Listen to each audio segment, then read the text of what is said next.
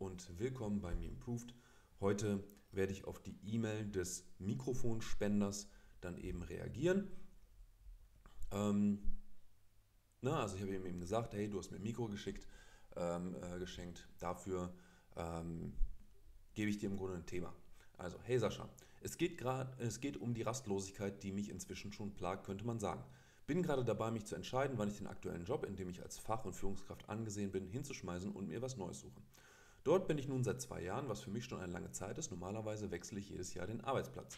Das Ganze beschränkt sich aber nicht nur auf die Arbeit, ich ziehe ständig um, aktuell im zweijährigen Rhythmus. Oder das Mikro, welches ich dir geschickt habe, das habe ich mal für mich gekauft, weil ich selbst auf YouTube präsent sein wollte.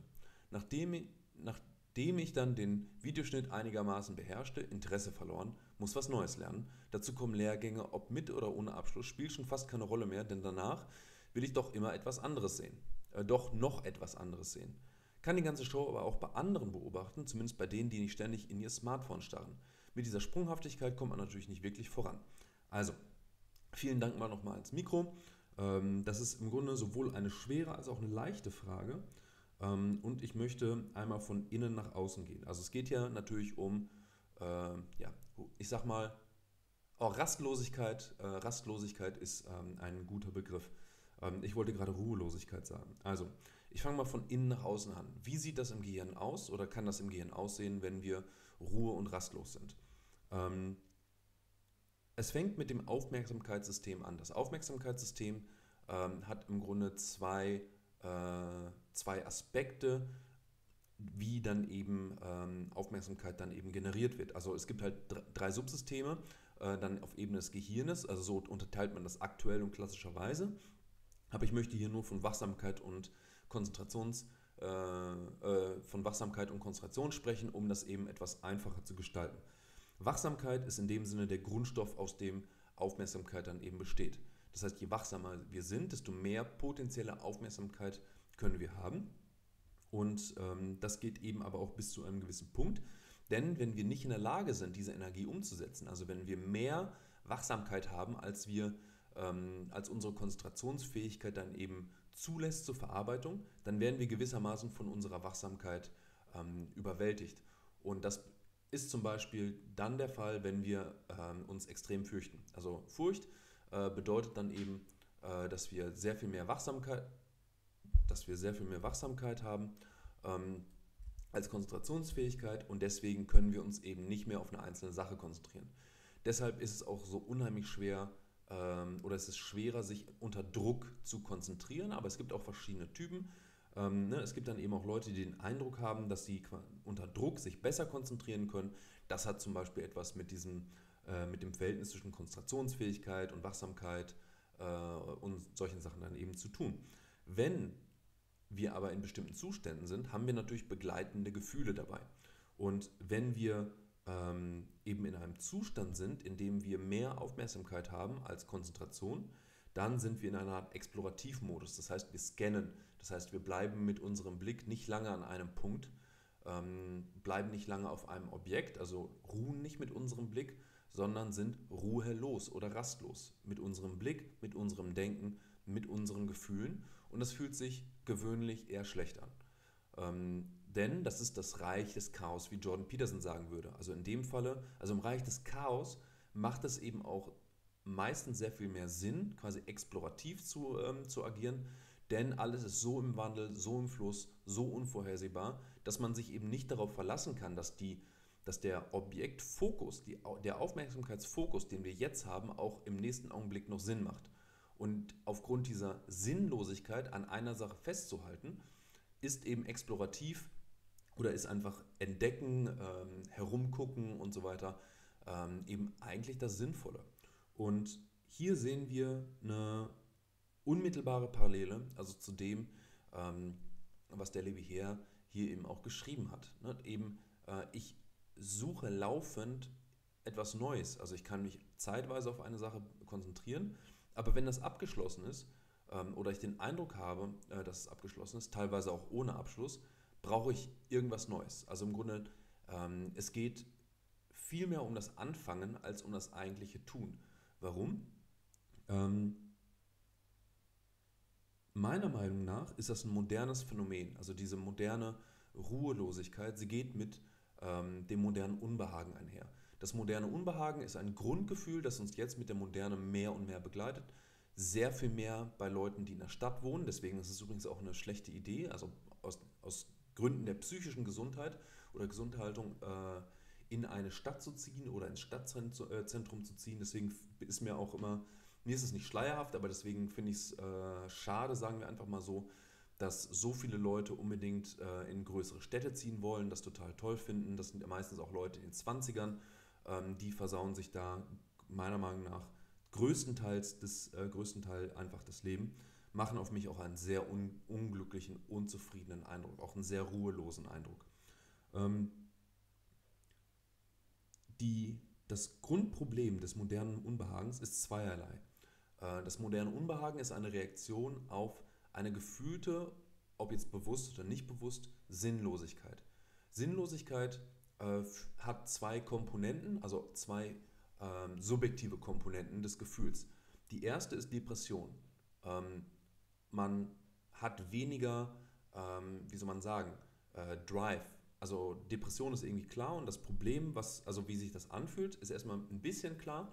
Aber das Problem, äh, was wir heutzutage haben, ist, dass wir ähm, kulturell anscheinend Depression als das Gegenteil von Glück ähm, dann eben ähm, sehen und weil wir in der Moderne aber davon ausgehen, dass Glück durch ähm, konsumatorische äh, Reize, Reize? Nee, das ist falsch, also durch, ähm, äh, also durch Konsum, in dem, sage ich mal, im weitesten Sinne dann eben entsteht, ähm, glauben wir dann eben, äh, dass wir unsere Depression mit weiterem Konsum oder einem depressiven Gefühl ähm, durch Konsum Einhalt gebieten können. Und dabei geht es nicht unbedingt nur ums Essen, also es gibt, das ist auch der Fall, äh, sondern es kann auch einfach ums Erleben gehen, denn äh, wir fahren zum Beispiel in den Urlaub und konsumieren in dem Sinne die Erfahrung. Das ist ja nicht so, dass die Erfahrung ähm, dann irgendwie dauerhaft bleibt. Also wir fahren zum Beispiel ähm, in eine chinesische Riesenhöhle. Ähm, na, also ich erwähne das, weil das so eine Sache wäre, zum Beispiel, äh, die mich sag mal, in die Ferne, ja, sagen wir, nicht ziehen könnte. Sie zieht mich in die Ferne, schafft es aber nicht, äh, mich hier weg, äh, also wirklich zu überwinden, ne? also mein, meine Wurzeln hier äh, äh, zu lösen. Und wenn wir das eben gesehen haben, dann ist das im Grunde das Neue, was konsumiert wurde und das Neue ist dann eben abgeschlossen. Ähm, das funktioniert nicht. Und es funktioniert nicht, weil diese Konzeption ähm, von, also dieses Begriffspaar Depression und Glück falsch ist. Depression gehört zur Sinnlosigkeit. Die Kehrseite, also äh, das ist in dem Sinne das Tune-out, wenn man so will, also das Reduzieren von allem, das Reduzieren auch von Wachsamkeit, wenn man eben depressive oder Depression bedeutet dann eben das Reduzieren von Wachsamkeit, das Reduzieren von Handlung, das äh, grundsätzliche in sich zurückziehen. Und deswegen ist eine Depression eben auch mit entsprechenden ähm, äh, Symptomen dann eben begleitet, wie zum Beispiel Motivationslosigkeit, ähm, soziale Isolation ist auch ganz klassisch äh, und so weiter. Aber es gibt eben auch die aktivierende äh, Komponente.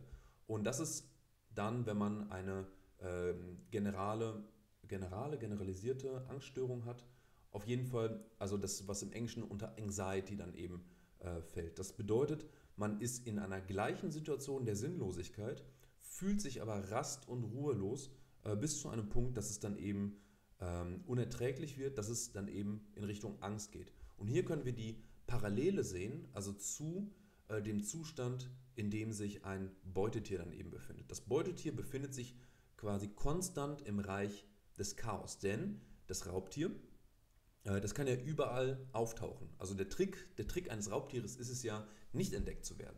Und das heißt, das Raubtier ist im Wesentlichen die Repräsentation des Unbekannten für das Beutetier und ähm, eine laufende erhöhte Wachsamkeit ähm, ist erforderlich und auch eine erhöhte Reagi äh, ähm, Reaktionsfreudigkeit, sage ich einfach mal.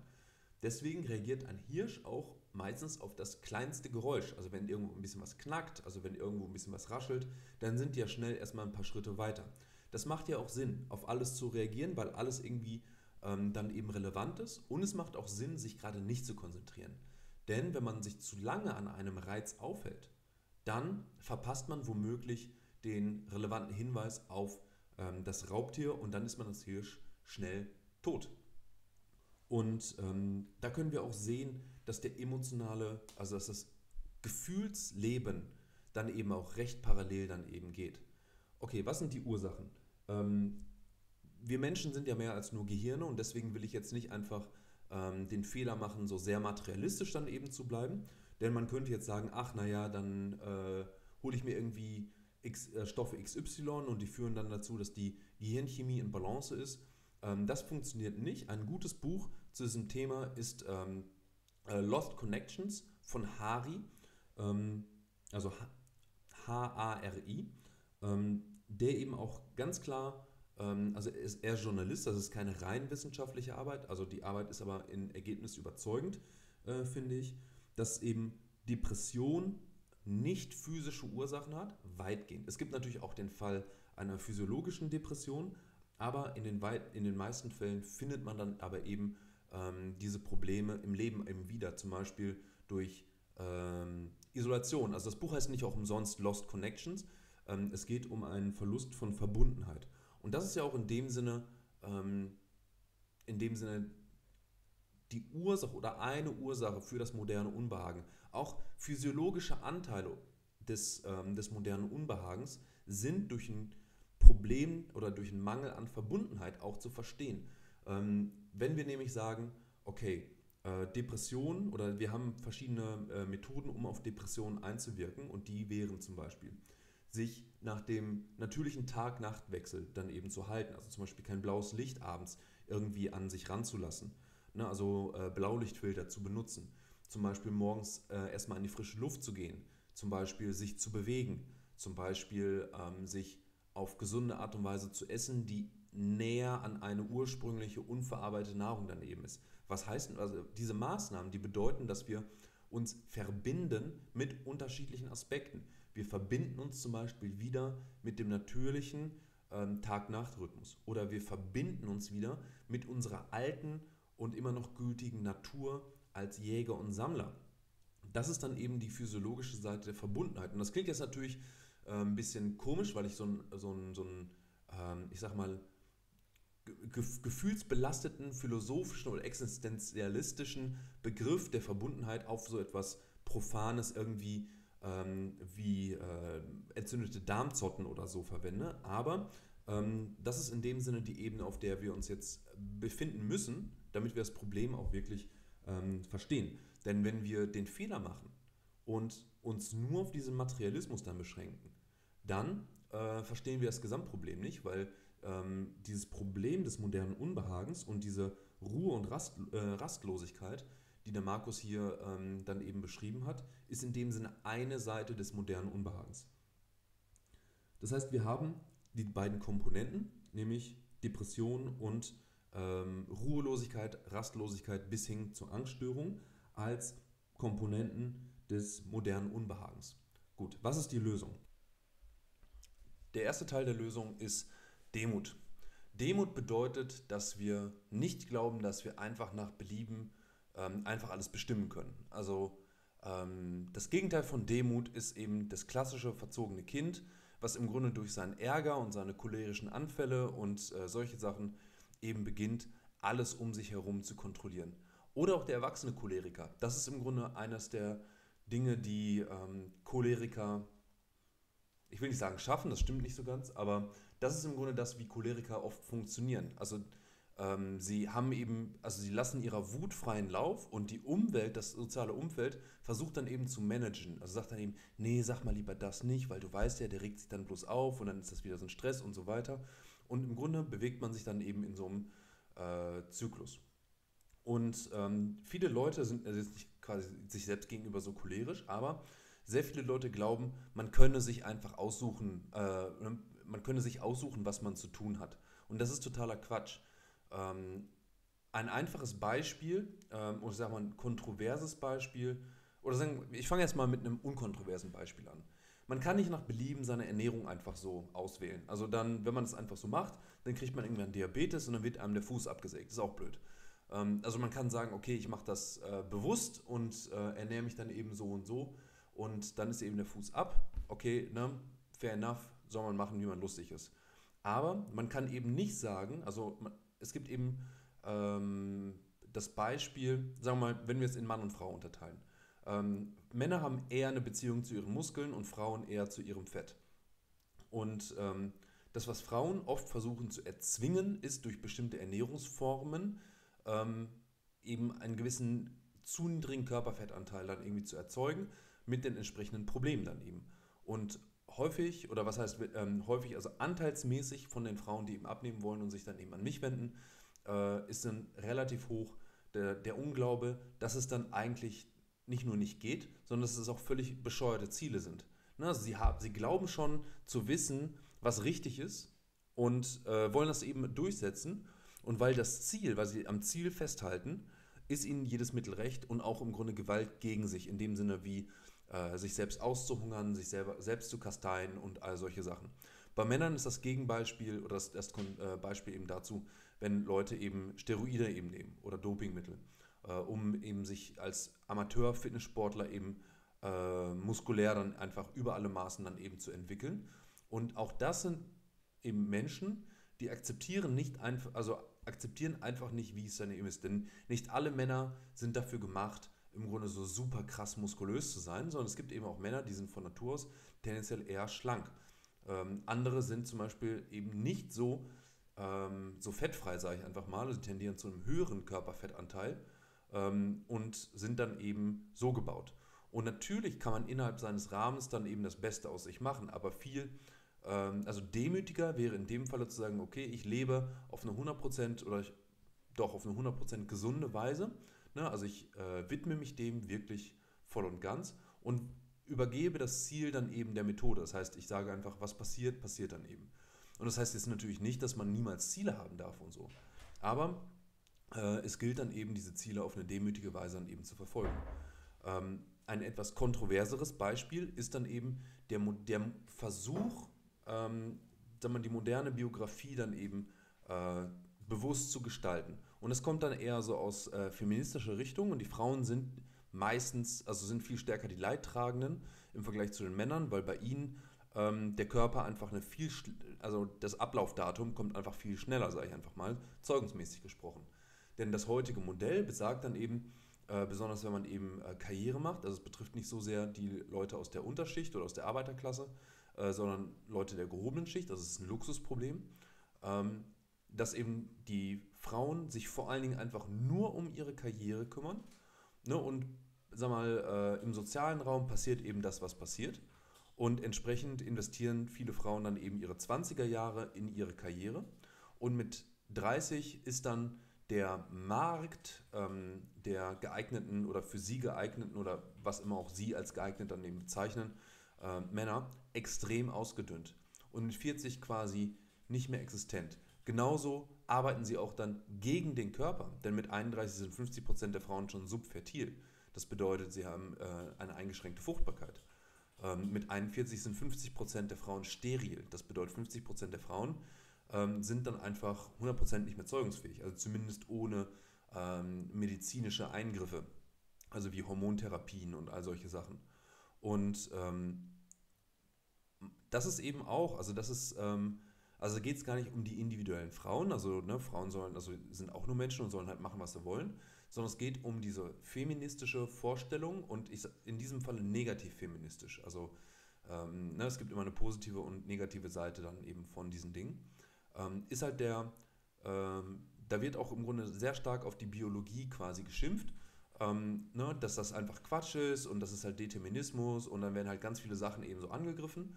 Und ähm, die Kosten tragen dann eben die indoktrinierten Frauen, die dann eben diesen Quatsch dann eben glauben. Ne? Also so, ähm, dass sie auch, ähm, also ein super Beispiel ist eine Studie, die ich neulich gelesen habe, also basierend auf einer Umfrage. Da hat man verglichen, was, was Menschen, also in dem Fall Amerikaner, glauben, was in der Gesellschaft oder in, in ihrer Kultur anerkannt ist und was sie glauben, worauf es wirklich ankommt. Also was Erfolg dann eben definiert. Und an oberster Stelle waren, also an, beiden, an den beiden obersten Stellen waren äh, Status und eine große Social Media äh, Gefolgschaft, sage ich einfach mal. Ähm, in Wirklichkeit, also für sie persönlich, ähm, war das einfach an, an sehr, äh, äh, nicht an letzter Stelle, aber an, an den unteren Rängen. Und an wichtigster Stelle waren, hat man eine Familie gegründet ähm, und äh, solche Sachen, einfach so soziale, zwischenmenschliche Sachen waren eben wichtig.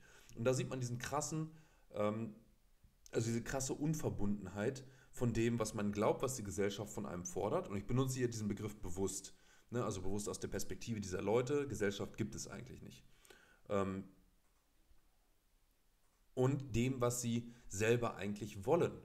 Und in dieser Trennung, also diese Trennung ist hervorgerufen durch im Grunde so eine Art ideologische Propaganda, dass man gefälligst ja auch das machen soll oder jenes machen soll und Karriere hier und irgendwas.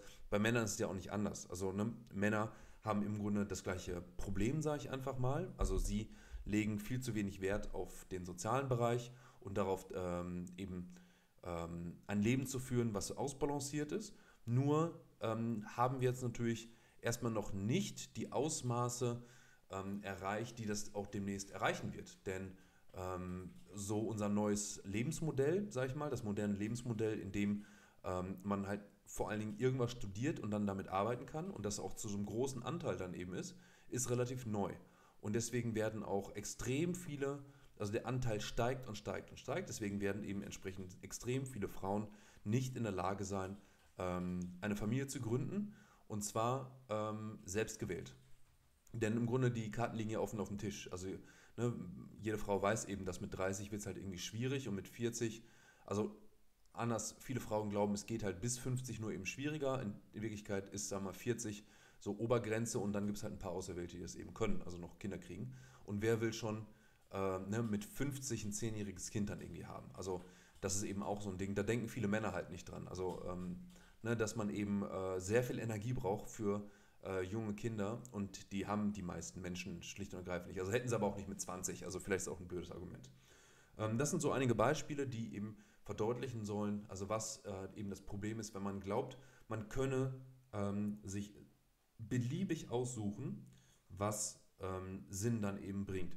Und als Beispiel wähle ich dann eben mich. Also jetzt würde man, also die Kritik liegt natürlich nahe, hey, du hast aber selber keine Familie und ähm, ne, wieso machst du das nicht und so. Ähm, Im Grunde geht es bei einer Familie darum, sich sein eigenes kleines Reich zu gründen und Teilhabe zu haben an der Zukunft. Denn ähm, viele Dinge, die einfach, ähm, also die Veränderung halt erwirken oder die, äh, die bringen, die schaffen wir nicht in unserer Generation, sondern das machen wir, indem wir eine Folgegeneration herstellen, sag ich mal so ganz äh, ähm, unlebendig, indem wir eine Folgegeneration herstellen und diese dann auf einem besseren Stand ist dann eben. Und ähm, naja, hier in Deutschland gibt es einfach auch demnächst keine Folgegeneration mehr, zumindest nicht im, äh, in dem Maße, in dem, ähm, äh, wie soll man sagen, also sich hier Deutschland, äh, ich will nicht sagen Deutschland, das ist ja im Grunde ein gesamtkulturelles äh, Problem, also des gesamten Westens, ähm, der ist halt quasi kulturell weg vom Fenster. Also er wird ersetzt durch was auch immer, also weiß man halt nicht, aber ähm, ne, die Leute ähm, machen eben einfach nicht mit, also immer weniger und weniger, sagen wir einfach mal so. Und ähm, das, was ich mir ausgewählt habe, ist eben etwas ähm, in der gleichen Richtung. Das heißt nicht, also ich meine, ne, ich bin offen für Familie, aber ich habe eben gesagt, okay, was kann ich hier beitragen, damit ich im Grunde Teil der Zukunft sein kann? Und deswegen habe ich eben gesagt, na gut, es gibt eben dieses Projekt, ne, diese Frage, wie kann man ein gutes Leben in der Moderne führen? Und dann äh, mache ich das eben so 40 Jahre lang und forsche eben daran rum und dann habe ich eben so meine Teilhabe. Ne, das ist so ein bisschen so auch die Entscheidung, wenn man, äh, sagen wir mal, Priester wird oder Geistlicher und sich dann im Grunde gegen Kinder entscheidet, einerseits, aber dann dafür halt am Leben aller eben mitwirkt. Kann man machen und für die meisten Leute ist es aber die beste Option, äh, dann schlicht und ergreifend einfach eine Familie zu gründen. Auch psychisch ist das viel, viel, äh, viel besser. Ähm, das ist ein ganz neues Phänomen, also dass eben so viele Leute über Einsamkeit klagen und der Grund ist schlicht und ergreifend, naja, wenn man nach Hause kommt und die Bude ist leer oder ähm, ne, es wartet allenfalls irgendwie ein Hund dann auf einen, ähm, dann ist man wirklich alleine. Also das heißt es, alleine zu sein. Und ähm, in der Hundeerziehung äh, gibt es zum Beispiel äh, deswegen auch einen wichtigen Aspekt, ähm, indem man dem Hund beibringt, alleine zu sein. Und das bedeutet, dass man ihn langsam auch daran gewöhnt. Also man verlässt das Haus zum Beispiel erstmal nur für eine Minute und das macht man dann jeden Tag 30 Mal oder so und dann steigert man das eben und äh, bis man irgendwann den Hund äh, bequem ein paar Stunden einfach zu Hause alleine lassen kann. Warum? Weil für Hunde als soziale Wesen nicht, also getrennt von ihrem Rudel zu sein, einfach mit das Schlimmste ist, was es gibt. Also der größte soziale Schmerz. Und das ist im Grunde der Dauerschmerz, den Leute haben, die eben keine eigene Familie haben. Und ne, deswegen, ich, ich wohne mit meinem besten Freund zusammen. Der Hund, ähm, mal gucken, was das mit uns wird. Äh, wir, wir raufen uns gerade eben zusammen. Und das ist im Grunde, ähm, wie soll man sagen, also es ist gut, ne? also es ist gut, also ich habe mich auch so entschieden, aber man kann nicht anders sagen. Also es ist ein seltsames Gefühl, nach Hause zu kommen und dann ist auch niemand da. Und ähm, die meisten Leute leben ja dann auch einfach alleine. Also wenn sie einfach berufstätig sind, ne, dann äh, wohnt man dann einfach alleine. Also das ist halt so der gewöhnliche Weg. Und dann ähm, erlebt man im Grunde dieses Unwohlsein, diesen sozialen Schmerz, ähm, echte Einsamkeit. Und dann erzählen manche Leute, ja, ich bin irgendwie zufrieden damit, alleine zu sein und pipapo, ist alles Bockmist. Ähm, davon gibt es sehr, sehr, sehr, sehr wenige. Also, was sind denn die Dinge, die eben äh, ein Gegengewicht zu diesem modernen Unbehagen dann eben schaffen? Ähm, in dem Sinne würde ich erstmal mit einfachen Dingen anfangen. Also, wenn äh, du jedes Mal den Job wechselst und so ganz viele verschiedene Sachen wechselst, dann würde ich damit in dem Sinne aufhören, als dass ich dann einfach sagen würde, okay, es geht nicht darum, wofür du dich interessierst. Da gibt es eine hervorragende Grafik, die ich jetzt natürlich technisch noch nicht einbinden kann. Keine Sorge, es kommt noch, dass ich das irgendwann schaffe. Ähm, vom Ikigai. Das ist im Grunde, also das japanische Wort für Sinn, kann man so sagen, ist ein bisschen falsch, aber wir sagen es jetzt erstmal so. Und ähm, äh, da gibt es eine Überschneidung von verschiedenen Dingen. Nämlich, äh, es gibt vier Dinge. Das, was ich liebe, das, was andere brauchen, das, was Geld bringt äh, und das, was ich gut kann. Und das Ikigai ist in dem Sinne zu finden genau in der Mitte. Das ist ein bisschen dumm, also äh, das ist halt typisch verwestlicht einfach dieses Modell, weil ähm, das Ikigai dann eben so den Anspruch hat, alles zu erfüllen, das ist halt Quatsch. Ähm, ne? Also das Leben muss im Grunde aus diesen Komponenten eben oder muss diese Komponenten erfüllen, aber das heißt nicht, dass man zu jeder Zeit alle Komponenten erfüllt. Es kann auch sein, dass man morgens einfach mal was macht, was halt Kohle bringt und abends macht man einfach das, was anderen Leuten hilft, sagen wir einfach mal so. Und äh, das Ziel ist es natürlich, alles möglichst äh, beieinander zu bringen. Und das wäre dann meine, äh, mein Vorschlag. Also such dir eine Arbeit nicht oder such dir die Dinge aus, also so wie du es beschrieben hast, nicht einfach nach deinem spontanen Interesse, weil das Interesse hält dich nicht, also es hält dich offenbar nicht, sondern etwas, wofür dich Leute bewundern und wofür die Leute danken. Also das ist zum Beispiel der, ähm, sagen wir das, was meine Arbeit auch für mich halt ganz stark auszeichnet. Ähm, ich habe halt eben auch mit Menschen zu tun, viel mit Menschen zu tun, ob ich jetzt etwas veröffentliche im Internet oder ob ich äh, dann einfach mein Training dann eben gebe oder als Trainer dann eben arbeite. Und regelmäßig bedanken sich Leute bei mir in mehr, also manchmal intensiver und manchmal weniger intensiv. Und das ist eben auch etwas, was wirksam ist. Ne, also kann ich, bin ja Captain Disagreeable, es gibt ja nur eine, von 100 Leuten gibt es nur durchschnittlich eine Person, die weniger äh, agreeable ist als ich, also weniger äh, höflich, mitfühlend und so weiter. Also von der Anlage her sage ich einfach mal. Und ähm, auch bei Menschen, also bei einer Person wie mir, ist es unheimlich wirksam. Also haben wir zwei Punkte. Erstens, also es fängt an mit Demut. Ähm, deswegen ist das auch im Christentum zum Beispiel so organisiert, dass man anfängt, erstmal zu sagen, okay, ich unterwerfe mich Gott. Also es gibt halt diesen Gotttypen und der hat schon eine Ahnung, wie das irgendwie läuft und dann vertraue ich dem erstmal. Das ist im Grunde ein Akt der, der Demut. Und deswegen ist es so ein wichtiges Konzept äh, eben im äh, Christentum, aber auch im Buddhismus und anderen Religionen ist das auch, also ganz, ganz zentraler ähm, Bestandteil einfach. Und ähm, das gibt auch in dem Sinne viel Ruhe, sage ich einfach mal. Und jetzt kommt wieder der Vergleich mit der Hundeerziehung. Also das, was man mit der Hundeerziehung am Anfang macht, ist im Grunde dem Hund Stück für Stück die Verantwortung für Entscheidungen zu nehmen. Das fängt an, also es gibt halt zum Beispiel so eine Übung, da hält man die Leine einfach auf 5 Meter fest und sobald der Hund an einem vorbeigeht, dreht man sich unmittelbar um und geht in die andere Richtung. Und der Hund läuft oft einfach in die Leine und irgendwann beginnt er ähm, halt sich schnell genug umzudrehen und irgendwann bleibt er einfach bei einem. Warum? Weil man in dem Sinne dem Hund die Verantwortung genommen hat, darüber zu bestimmen, wo es lang geht. Und dann guckt er einfach nach einem selbst und äh, also dann guckt er eben nach einem, anstatt die Umwelt abzuscannen nach Reizen, die ihm eben sagen, wo er hingeht. Also Ne, er orientiert sich quasi nach innen, zum Rudel dann eben hin. Und je mehr der Hund Verantwortung eben abgibt, ne, desto, also als Rudelführer, sage ich einfach mal, gilt es dann eben, gerecht die Ressourcen zu verwalten. Also äh, da geht es nicht darum, den Hund halt irgendwie klein zu machen oder so, sondern da geht es darum, ähm, quasi gerecht zu sagen, pass mal auf, es gibt halt diese Regeln, ne? du kannst dich innerhalb dieser Regeln dann eben frei entfalten, aber diese Regeln musst du eben einhalten und ich treffe eben die Entscheidung, welche Regeln dann eben getroffen sind und die muss man natürlich auch am Hund, äh, sagen wir, orientieren. Also man kann jetzt nicht einfach sagen, äh, du kannst nur irgendwie auf dem Regal leben, ist irgendwie Quatsch, ne? aber ähm, ne, so, wenn das im Einklang mit den Instinkten des Hundes ist, dann wird der Hund unheimlich schnell ruhig. Also je mehr ich von diesen Übungen zum Beispiel mache, desto überproportional ruhiger wird dann auch einfach äh, der Hund. Und in der ersten Folge, ähm, ne, also äh, das war im Grunde äh, das erste, also da war am Anfang einfach hier. Ähm, war das in der ersten Folge? Entschuldigung, ich weiß es nicht mehr. Auf jeden Fall relativ am Anfang. Ähm, ne, da war im Grunde der, der Livestream auch so ganz verkackt, weil, ähm, äh, weil der Hund natürlich dauernd gestört hat, weil er einfach so unruhig war. Und das erlebt jetzt immer weniger und weniger. Einfach, weil der Hund jetzt einfach mehr und mehr Verantwortung einfach abgibt. Auch in dem Sinne sich nicht unbedingt unterordnet, in dem Sinne, dass er sich unterwirft, aber eher so einordnet, eben ins Rudel, seinen Platz kennt und dann auch in dem Sinne ähm, ganz viel Ruhe dadurch gewinnt, weil er einfach Entscheidungen nicht mehr treffen muss. Ne? Und äh, bei uns Menschen ist es dann eben mit der Demut das Gleiche.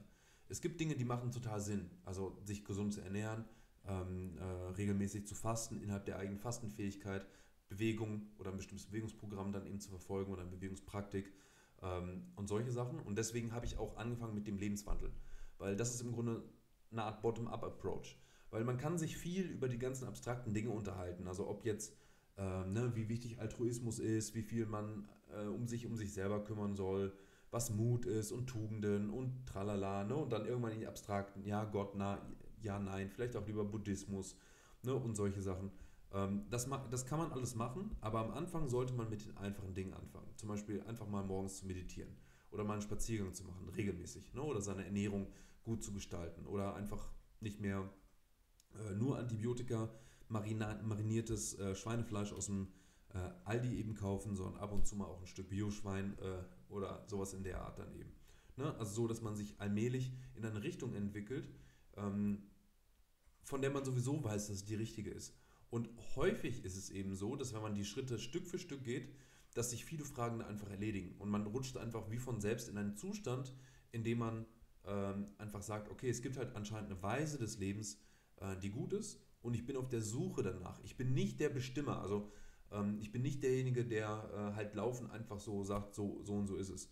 Und natürlich werden Leute dann eben jetzt, äh, äh einige vielleicht von euch aufschreien und sagen, ah, aber was ist mit dem Übermenschen und so.